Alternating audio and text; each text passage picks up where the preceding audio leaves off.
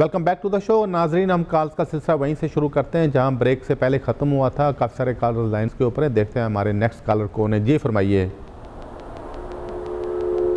जी। ए, मुझे लगता है ये कॉल ड्राप हो गया। नाजरीन जब आप फ़ोन करें उस वक्त प्लीज़ आप अपने एक तो लाइन के ऊपर ही रहें तो दूसरी बात यह कि अपने टीवी की आवाज़ थोड़ी सी कम कर दिया था करें ताकि आपकी जो आवाज़ है वो हम तक क्लियरली पहुँच सके। देखते हैं हमारे अगले कॉलर कौन है। जी फरमाइए। हेलो सिंह सर मैंने कॉल की थी कंप्लीट बात रह गई थी इनफैक्ट मेरे हस्बैंड को 18 इयर्स हुए हैं यहाँ आए हुए, और मुझे सिक्स इयर्स हुए हैं। और बात मैंने ये पूछनी थी, क्योंकि हमारे वीज़ा रिफ्यूज़ हो गए थे हेरिंग के बाद, लेकिन मुझे डिप्रेशन की वजह से हैरो कौंसल जो है ना, वो मीन के वो इन्वॉल्व हो रहे हैं ना हमें एवरी मंथ हमारे पास आते हैं और हमारी केयर कर रहे हैं वो हर लिहाज में। तो क्या ये चीज़ हमारे केस में इम्पेक्ट कर सकती है या होप है इस वजह से? वो हमें लेटर भी लिख के दे रहे हैं कौंसिल वाले? ये एक प्लस पॉइंट हो सकता है। बहरहाल आपके हस्बैंड को अगर 18 साल हो गए और बच्चा भी आपका अगर 20 मंथ का तो आप ह्यूमन राइट्स की एप्लीकेशन करें। ये एप्लीकेशन चलेगी और इसका कुछ अरसे में, पाँच छः महीने में हाँ या ना में फैसला हो जाएगा। अगर ना में आ जाता है, इसको आगे कोर्ट वगैरह में चैलेंज करें। इस दौरान अगर बीस साल हो जाते हैं तो फिर श्योर है कि आपके हस्बैंड को यहाँ पर परमिशन मिल जाएगी। अगर उनको परमिशन मिल जाए तो फिर आपके बच्चा जो है, वो ब्रिटिश नेशनल हो जाएगा। अगर वो बच्चा ब्रिटिश नेशनल हुआ, फिर आपको भी यहाँ रहने की परमिशन मिल जाएगी। फ़िलहाल आप अपनी ह्यूमन राइट्स में अप्लीकेशन कर सकते हैं। कॉल का शुक्रिया बढ़ते अगले कॉलर की तरफ़। जी फरमाइए। वालेकुम। सलाम। मैंने पूछना था कि मुझे as a spouse of European national के है मुझे नवंबर में मैंने पीआर के लिए अप्लाई किया था। वो मुझे पीआर उन्होंने दिया है अप्रैल में। तो मैं जब नेशनलिटी के लिए अप्लाई करूँगी मेरा टाइम पीरियड कब से काउंट करेंगे वो? नवंबर से कि अप्रैल से?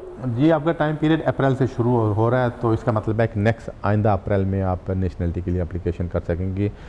कॉल का शुक्रिया देखते हैं हमारे अगले कॉलर कौन है? जी फरमाइए। जी वालेकुम कि परमिशन ऑफ़ अपील जो है ना वो फ़र्स्ट ट्रिब्यूनल से हुई है तो अपर ट्रिब्यूनल में जाने के लिए क्या दोबारा से फ़ीस देनी पड़ेगी उसके लिए नहीं क्या वो अपर ट्रिब्यूनल में केस इस वक्त हेयरिंग हो गई है कि नहीं? नहीं नहीं फ़र्स्ट पहले फ़र्स्ट ट्रिब्यूनल से रिफ्यूज हुई थी तो हमने परमिशन ऑफ़ अपील अप्लाई किया था परमिशन ऑफ़ अपील मिल गई है। ठीक है। अभी हमें डेट मिलनी है। अब मैं मुझे ये पूछना है कि दोबारा से फ़ीस पे करनी पड़ेगी इस फ़ीस जी नहीं आपको दोबारा फ़ी नहीं पे करना पड़ेगी लेकिन गवर्नमेंट का इरादा है कि इसमें भी फ़ी का अप्लाई करेंगे। उस पर शोर वगैरह काफ़ी पड़ा हुआ है हमने भी डाला हुआ है कि फ़ी नहीं अभी नहीं है अपर ट्राइबल में जाने की। अभी आपका ये होगा कि एक हेयरिंग डेट आएगी जिसमें छः सात महीने लग जाएँगे।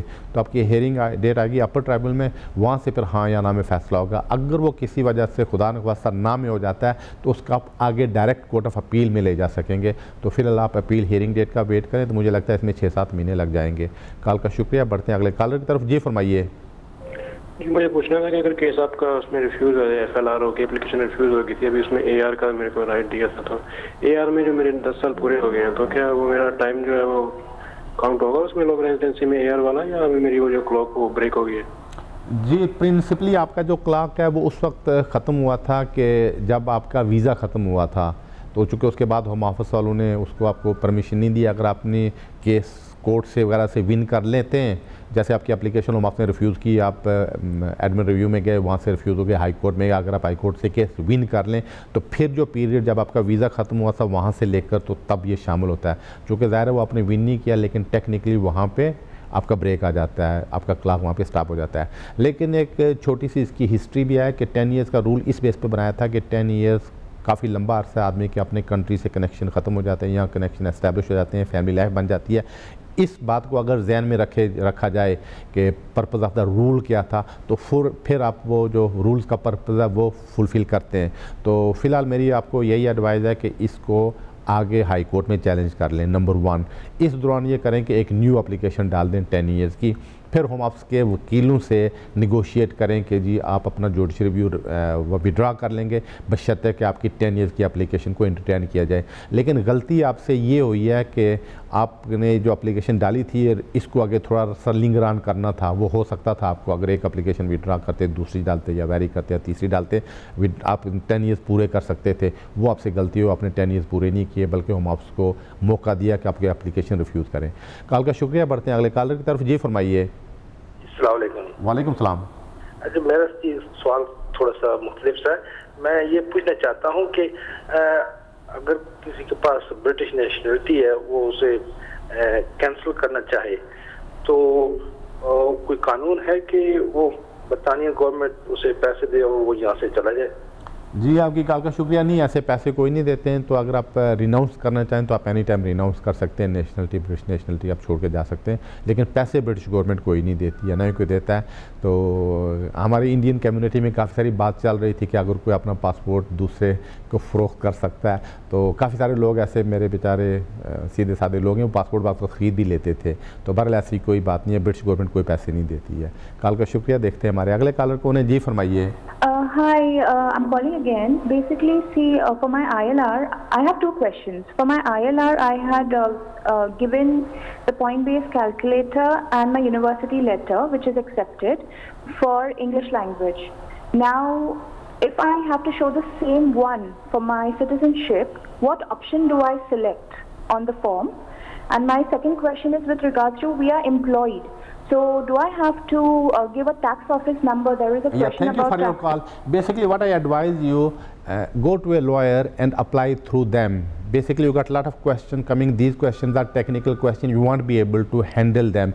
And if you do something wrong, and it might affect your application. So best thing is if uh, you are not very confident and you are not 100% sure, the best thing is just apply through a lawyer, go to a solicitor, they will help you to make an application for naturalization.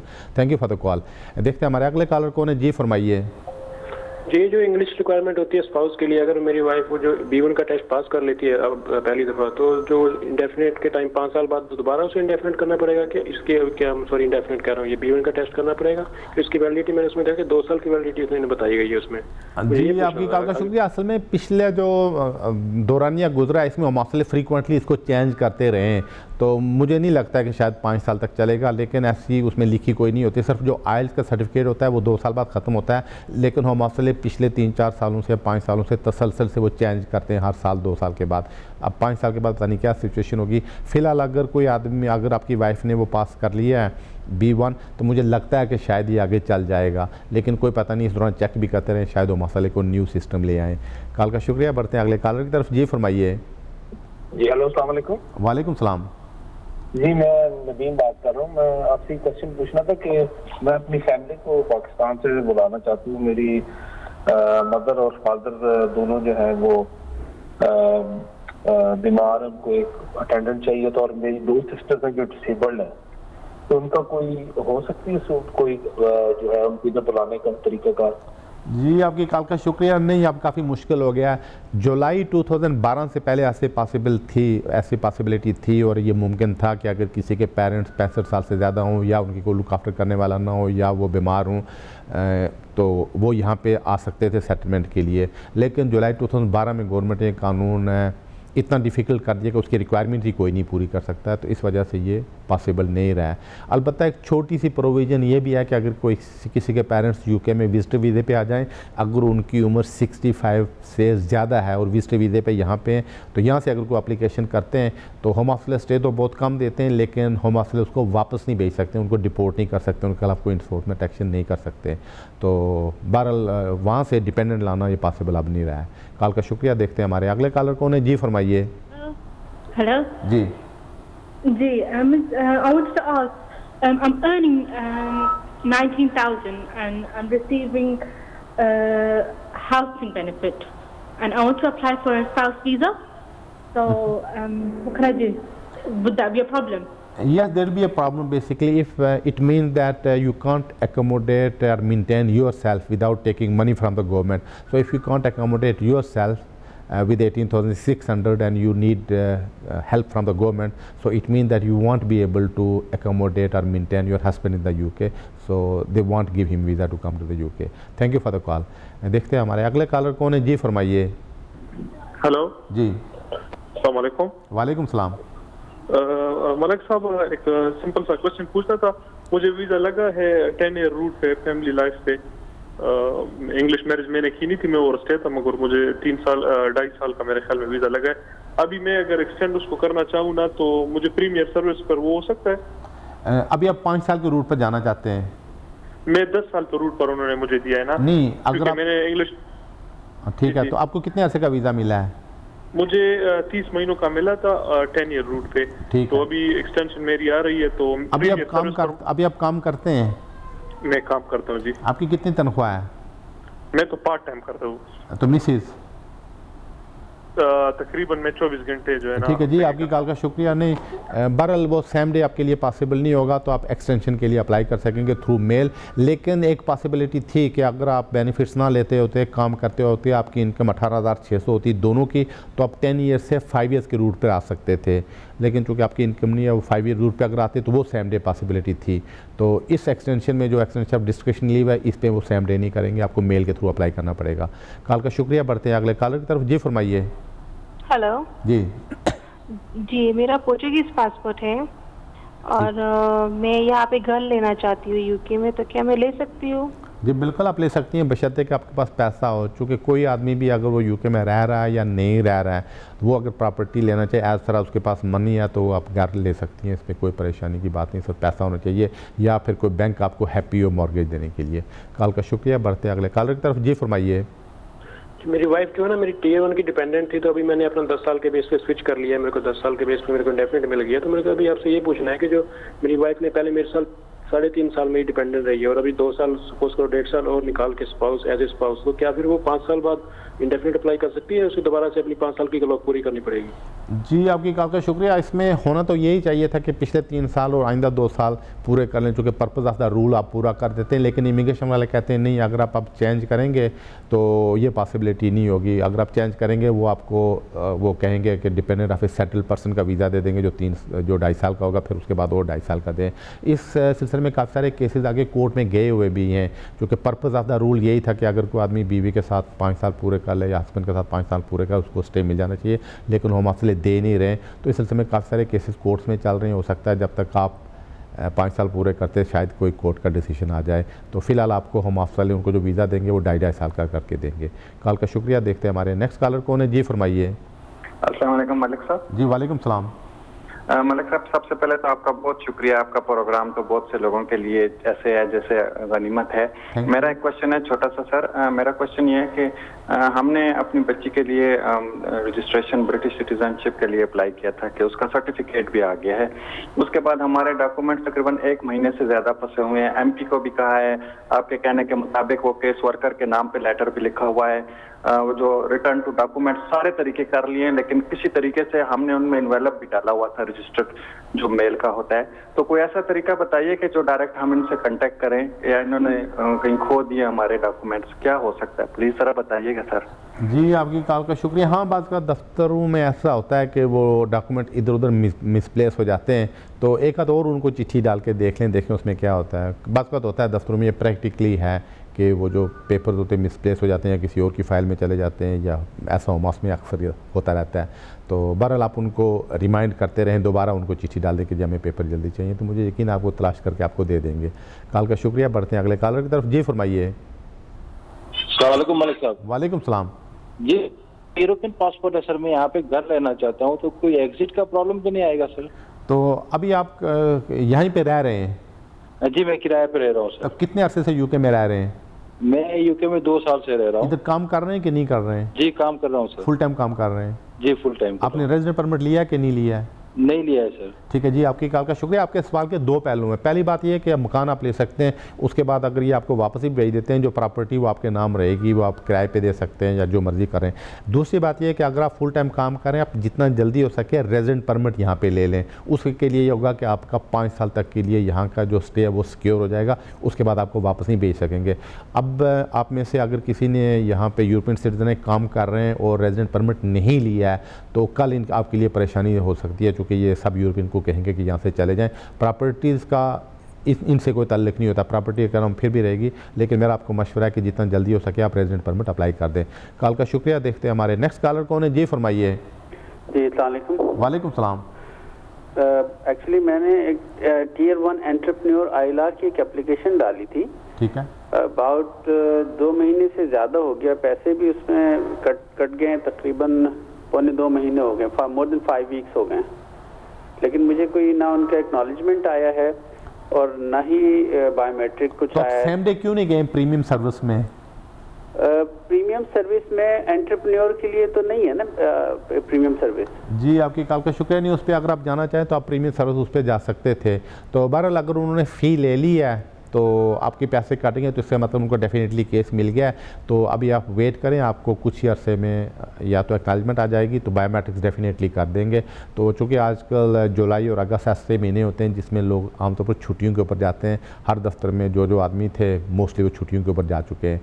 तो बहरहाल wait करें मुझे लगता है कुछ ही दिनों में आपका बायोमेट्रिक्स आपके हो जाएँगे। कॉल का शुक्रिया बढ़ते हैं। नेक्स्ट कॉलर की तरफ़ जी फरमाइए। हाँ, जी। ਸਰ ਮੈਂ ਤੇ ਮੇਰੇ ਡੈਡੀ ਕੋਲ ਨਾ ਯੂਰਪ ਦਾ ਪਾਸਪੋਰਟ ਹੈਗਾ ਸੀ ਤੇ ਮੈਂ ਉਹਨਾਂ ਦੇ ਦੇਸ਼ 'ਚ ਆਇਆ ਇੱਥੇ। ਠੀਕ ਹੈ। ਤੇ ਮੈਂ ਆਪਣੀ ਵਾਈਫ ਨੂੰ ਬੁਲਾਉਣਾ ਜੀ ਮੇਰੀ 18600 ਤੋਂ ਜ਼ਿਆਦਾ ਤਨਖਾਹ ਹੈ ਮੈਂ ਉਹਨਾਂ ਦੇ ਡਿਪੈਂਡੈਂਟ ਆਇਆ ਸੀ ਤੇ ਮੈਂ ਉਹਨੂੰ ਬੁਲਾ ਸਕਦਾ ਸੀ? ਜਿਹਨੇ ਤੁਹਾਨੂੰ ਪ੍ਰੋਬਲਮ ਹੋ ਜਾਏਗੀ ਇਸ ਉਹ ਇਸ ਵਜ੍ਹਾ ਦੇ ਨਾਲ ਕਿ ਅਗਰ ਤੁਸੀਂ ਖੁਦ ਕੰਮ ਕਰਨਾ ਸ਼ੁਰੂ ਕਰ ਦਿੱਤਾ ਤੁਹਾਡੀ ਇਨਕਮ ਜ਼ਿਆਦਾ ਹੋ ਗਈ ਇਸ ਦਾ ਮਤਲਬ ਹੈ ਤੁਸੀਂ ਆਪਣੇ ਫਾਦਰ ਤੇ ਉੱਪਰ ਡਿਪੈਂਡ ਨਹੀਂ ਕਰ ਰਹੇ ਹੋ। ਉਹ ਫਿਰ ਤੁਹਾਨੂੰ ਪ੍ਰੋਬਲਮ ਹੋ ਜਾਏਗੀ ਉਹ ਕਹਿਣਗੇ ਜੀ ਤੁਸੀਂ ਆਪਣੇ ਫਾਦਰ ਤੇ ਉੱਪਰ ਡਿਪੈਂਡ ਨਹੀਂ ਕਰ ਰਹੇ ਹੋ ਲਿਹਾਜ਼ਾ ਤੁਸੀਂ ਆਪਣਾ ਜਿਹੜਾ ਫੈਮਿਲੀ ਯੂਨਿਟ ਉਹ ਬਣਾ ਲਿੱਤਾ ਇਹ ਤੁਹਾਨੂੰ ਪ੍ਰੋਬਲਮ ਹੋ ਜਾਏਗੀ। ਕਿਸੇ ਵਕੀਲ ਤੋਂ ਮਿਲ ਕੇ ਉਹਨੇ ਤੋਂ ਐਡਵਾਈਸ ਲੈ ਲਿਓ। ਕਾਲ ਦਾ ਸ਼ੁਕਰੀਆ। ਦੇਖਦੇ ਹਾਂ ਹਮਾਰੇ ਅਗਲੇ ਕਾਲਰ ਕੋਨੇ ਜੀ ਫਰਮਾਈਏ। हेलो ਜੀ। या मैं भी आठ साल से आ रहा हूँ और मेरी गर्लफ्रेंड के साथ रह रहा हूँ। मैं इंडिया का विजिटर वीज़ा पे तो अभी कुछ हो सकता है। तो आपने पहले को अप्लाई क्यों नहीं किया? जी आपकी कॉल का शुक्रिया। असल में जब आप आए थे उस वक्त ओवर स्टेयर करने के बजाय कोई ना कोई एप्लीकेशन दे देनी चाहिए थी। तो बहरहाल अगर आपके आठ साल हो गए तो गर्लफ्रेंड के साथ रह रहे हैं, मुझे पता नहीं उनका लीगल स्टेटस क्या है। तो बहरहाल, अगर कोई सात आठ साल यहाँ पे रह जाए या अपने आप को एस्टेब्लिश कर ले, आप ह्यूमन राइट्स की एप्लीकेशन अगर करना चाहें तो वो कर सकते हैं। कॉल का शुक्रिया, बढ़ते हैं। अगले कॉलर की तरफ़ जी फरमाइए। वालेकुम जी वालेकुम सलाम। हाँ जी अ, मेरा क्वेश्चन सिटीजनशिप से सिटीजनशिप के ताल्लुक में है। मेरा आई एल लास्ट ईयर हुआ था और मैंने लाइक टीयर वन से लेकर अब तक अ, मतलब मुझे पॉइंट्स मिले थे इंग्लिश लैंग्वेज के लिए। तो मैंने कभी लाइक कोई इंग्लिश टेस्ट नहीं दिया है। और लास्ट ईयर भी जब आई मैंने किया था तो मैंने पॉइंट बेस्ड सिस्टम का प्रिंट आउट और, और मेरी सर्टिफिकेट सबमिट कर दी थी। सो नेचुरलाइजेशन के लिए कुछ अलग से टेस्ट देना पड़ेगा मुझे? आपकी अपनी कंट्री से डिग्री है। हाँ। ठीक है जी आपकी कॉल का शुक्रिया। अगर आप वो नॉरिक जो यहाँ पे कॉम एक है कंपनी है नॉरेक इंटरनेट पे जाएँ उसकी डिटेल ले लें अपनी डिग्री को उनसे असेस करवा लें और वो असेसमेंट साथ भेज दें और लाइफ न्यू के टेस्ट पास कर लें वो शायद आपने ऑलरेडी किया होगा फिर आपकी किसी इंग्लिश टेस्ट की ज़रूरत नहीं रहती है। कॉल का शुक्रिया बढ़ते हैं अगले कॉलर की तरफ़। जी फरमाइए। Hello. Ji. Um, um, I just called about um, my spouse visa for um, basically I'm receiving benefits And I have a three-year-old child. Three-year-old? Okay? Three years old child. Yes. So um, basically, um, the council has my payslip Yeah, I do understand, but if you are getting benefits from the government, so it means that you are unable to accommodate and maintain yourself. So if somebody is on benefits, they are not allowed to bring their spouses here on the basis of marriage. So that's the reason I told you that it's, it won't be possible for you to bring your spouse here. Thank you for the call. देखते हैं हमारे अगले collar कौन है जी फरमाइए ਹਾਂਜੀ ਭਾਜੀ, ਮੇਰੇ ਕੋਲ ਇੰਡੈਫੀਨਿਟ ਹੈ ਤਾਂ ਮੈਂ ਪੁੱਛਣਾ ਸੀ, ਮੇਰੀ ਵਾਈਫ ਤੇ ਮੇਰੀ ਆਪਣੀ ਬੇਟੀ ਇੱਕ 4 ਸਾਲ ਦੀ ਇੱਥੇ ਹੈ ਤੇ ਮੈਂ ਪੁੱਛਣਾ, ਮੇਰੀ ਬੇਟੀ ਜਿਹੜੀ ਹੈ ਉਹ ਕੀ ਆਪਣਾ, ਉਹ ਇੰਡੀਆ ਬੋਰਨ ਹੋਈ ਸੀ ਐਕਚੁਅਲੀ ਤਾਂ ਕੀ ਆਪਣਾ ਪਾਸਪੋਰਟ ਅਪਲਾਈ ਕਰ ਸਕਦੀ ਹੈ ਇੱਥੇ ਜਾਂ ਉਹਨੂੰ ਵੀ ਉਹ 5 ਸਾਲ ਲਾਣੇ ਪੈਣੇ ਪੂਰੇ? ਤਾਂ ਉਸਦੀ ਮਾਂ ਦਾ ਕਿਸ ਸਟੇਟਸ ਇੱਥੇ ਸਟੇਟਸ ਹੈ? ਉਹ ਵੀ ਸਪਾਊਸ ਨੇ ਦੋਵੇਂ ਮੇਰੇ ਜੀ ਠੀਕ ਹੈ ਜੀ ਕੱਲ ਦਾ ਸ਼ੁਕਰੀਆ ਨਹੀਂ ਉਹ ਨਹੀਂ ਅਪਲਾਈ ਕਰ ਸਕੇਗੀ ਨੈਸ਼ਨੈਲਿਟੀ ਦੇ ਵਾਸਤੇ। ਜਦੋਂ ਉਸ ਦੀ ਮਾਂ ਨੂੰ ਇੱਥੇ ਪੱਕਾ ਸਟੇ ਮਿਲ ਗਿਆ ਇਨਡੈਫਿਨਿਟ ਸਟੇ ਮਿਲ ਗਿਆ ਫਿਰ ਉਹ ਨੈਸ਼ਨੈਲਿਟੀ ਦੇ ਵਾਸਤੇ ਐਪਲੀਕੇਸ਼ਨ ਕਰ ਸਕੇਗੀ। ਉਸ ਤੋਂ ਪਹਿਲੇ ਪੋਸੀਬਲ ਨਹੀਂ ਹੋਏਗਾ। ਤੁਹਾਡੀ ਕੱਲ ਦਾ ਸ਼ੁਕਰੀਆ ਦੇਖਦੇ ਹਾਂ ਹਮਾਰੇ ਅਗਲੇ ਕਾਲਰ ਕੋਨੇ ਜੀ ਫਰਮਾਈ ਹੈ ਸਰ ਹੋਮ ਕੀਤਾ ਸੀ ਨਾ ਉਹਨੇ ਥੋੜੀ ਦੇਰ ਪਹਿਲਾਂ ਮੇਰੇ ਕੋਲ ਪੈਨਡ ਵੀਜ਼ਾ ਹੈਗਾ। ਜੀ। ਤੇ ਸਰ ਲਾਣਾ ਚਾਹੁੰਦਾ ਕਿਸ ਵੇ ਇੱਥੇ ਆਪਣੇ ਵਾਈਸ ਜੀ ਤੁਹਾਡਾ ਸਵਾਲ ਕੀ ਹੈ? ਮੇਰੀ ਵਾਈਫ ਵਾਈਫ ਇਨ ਇੰਡੀਆ ਮੈਂ ਡਿਪੈਂਡੈਂਟ ਵੀਜ਼ੇ ਤੇ ਆਇਆ, ਮੇਰੇ ਡੈਡੀ ਕੋਲ ਸੀ ਪਾਸਪੋਰਟ ਤੇ, ਜੇ ਮੈਂ ਉਹਨੂੰ ਬੁਲਾਉਣਾ ਤੇ ਮੈਂ ਕਿਸ ਵੇਸ ਤੇ ਇੱਥੇ ਬੁਲਾ ਸਕਦਾ ਜੀ? ਤੁਸੀਂ ਕਿਸੇ ਵਕੀਲ ਨੂੰ ਜਾ ਕੇ ਐਡਵਾਈਸ ਲੈ ਲਿਓ ਕਿ ਤੁਸੀਂ ਉਸ ਨੂੰ ਕਿਸ ਤਰ੍ਹਾਂ ਇੱਥੇ ਬੁਲਾ ਸਕਦੇ ਹੋ। ਇੱਕ ਪੋਸਿਬਿਲਿਟੀ ਹੈ ਕਿ ਅਗਰ ਤੁਹਾਡੇ ਫਾਦਰ ਕੰਮ ਕਰ ਰਹੇ ਨੇ, ਉਹ ਉਸ ਨੂੰ ਐਕਸਟੈਂਡਡ ਫੈਮਿਲੀ ਮੈਂਬਰ ਕਰਕੇ ਬੁਲਾ ਸਕਦੇ ਨੇ। ਉਹ ਸ਼ਾਇਦ ਤੁਹਾਡੇ ਵਾਸਤੇ ਥੋੜਾ ਬਿਹਤਰ ਤਰੀਕਾ ਰਹੇਗਾ। ਤੇ ਜ਼ਿਆਦਾ ਬਿਹਤਰ ਹੈ ਕਿਸੇ ਵਕੀਲ ਨੂੰ ਜਾ ਕੇ ਮਿਲੋ, ਉਹਨਾਂ ਨੂੰ ਪੂਰੀ ਗੱਲ ਦੱਸ ਕੇ ਉਹਨੂੰ ਤੋਂ ਐਡਵਾਈਸ ਲੈ ਲਿਓ। ਕੱਲ ਦਾ ਸ਼ੁਕਰੀਆ, ਦੇਖਦੇ ਹਾਂ ਹਮਾਰੇ ਅਗਲੇ ਕਾਲਰ ਕੋਣ ਹੈ? ਜੀ, ਫਰਮਾਈਏ। जी। जी बात करें। मैं मुझे लगता है ये कॉल ड्रॉप हो रही है बढ़ते हैं। नेक्स्ट कॉलर की तरफ़ जी फरमाइए। जी बात करें। अच्छा, ये है मलिक साहब से बात करनी जी बिल्कुल आप आने बात करें। सलामकुम जी वालेकुम सलाम। मलिक साहब एक चीज़ पूछनी थी अब मैं असालन पे हूँ यहाँ पे। ठीक है। अगर मैं यहाँ से वॉलेंट्री जाना चाहूँ तो क्या ये लोग बेनिफिट कुछ देते जी आपकी कॉल का शुक्रिया। नहीं आप नहीं देते हैं। पहले देते थे तो होता यह था कि लोग यहाँ से आठ दस हज़ार पाउंड ले लेते थे तो वापस जाकर दो तीन हज़ार एजेंट को देकर वापस आ जाते थे। तो अब किसी किस्म का पे वो नहीं देते हैं। सिर्फ़ ट्रैवल डॉक्यूमेंट बनाने की हद तक वो आपकी मदद कर सकते हैं कि ट्रैवल डॉक्यूमेंट आपका बनवा दें उसकी जो फ़ी है वो शायद दे दें लेकिन पैसे आप कोई नहीं देते हैं। कॉल का शुक्रिया। बढ़ते हैं अगले कॉलर की तरफ़। जी फरमाइए। हेलो? जी। जी बात हेलो? जी। जी मैंने ना हमने दो दो साल पहले असाइलम का केस किया था। ठीक है। तो उसके बाद उन्होंने हमें रिजेक्ट कर दिया। तो अब पूछना था आपसे कि कोई लेगेसी या कोई आने का चांस है? तो आपके बच्चे भी अकेले हैं? नहीं हमारे तीन बच्चे हैं। उनको यहाँ पे कितना अरसा हो गया है? अ, तीन साल हुए हैं बस। ठीक है जी, आपकी कॉल का शुक्रिया। अगर तो वो, अब मुझे पता नहीं आपके केस की क्या सिचुएशन है। लेगेसी की शायद को निकल आए, चूँकि एक बात चल रही है यूरोपियन सिटीजन के बारे में कि यहाँ पे तकरीबन 30 लाख के लगभग यूरोपियन सिटीजन थे। अब उनके बारे में फ़ैसला कर रहे हैं कि उनको यहाँ कौन यहाँ उनमें से रह सकेगा कौन वापस जा सकेगा। तो इस बात पे आजकल कानून बनाने के सिलसिले में कर रहे हैं। तो ये जब इस पर थोड़ी बहस होगी डिस्कशन होगी उस वक्त चांसेस हैं कि ऐसे लोग जो कि आपकी तरह के हैं, उनके बारे में कोई शायद एमनेस्टी निकालें। वैसे भी जो कैबिनेट के एक जो फॉरेन सेक्रेटरी हैं ये पहले भी डिमांड कर चुके हैं काफ़ी दफ़ा कि यहाँ पे एमनेस्टी निकलनी चाहिए। वो चूँकि आप कैबिनेट में हैं तो चांसेस है कि शायद कोई एमनेस्टी निकल आए। कॉल का शुक्रिया देखते हैं हमारे यहाँ नेक्स्ट कॉलर कौन है? जी फरमाइए। जी अस्सलाम मैं जीशान काजी बात कर रहा हूँ। जी फरमाइए। मुझे ये पूछना था कि जो पेरेंट्स का इमिग्रेशन है यूके में, मैं यहाँ ब्रिटिश सिटीजन हूँ, मेरी एक बहन भी है, लेकिन हमारे दो, एक बहन भाई वहाँ पे भी हैं पाकिस्तान में, और पेरेंट्स काफ़ी ओल्ड हैं, अबू जो हैं वो सिक्सटी सेवेंटी वन के हैं वालदा सिक्सटी फाइव की तो उसकी अभी क्या पोजीशन है, किस तरह हो सकता है? जी, आपकी कॉल का शुक्रिया, इस, अब ये असल में जो रास्ता है गवर्नमेंट ने बंद कर दिया था 2012 में, जब इन्होंने नया कानून बना दिया था। एक कानून में तरमीम की थी, उसके बाद उसके बाद किसी को वीज़ा ही नहीं मिलता। नए कानून में चूँकि वो आता ही नहीं है।